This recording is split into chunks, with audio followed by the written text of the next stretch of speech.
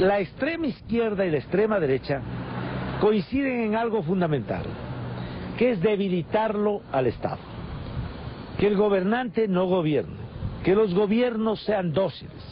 Es el pueblo en las urnas el que tiene que decidir si alguien sigue o alguien sale. Pero lo que no puede haber es el sacrosanto principio dogmático de la inestabilidad permanente del Estado a pretexto de una alternabilidad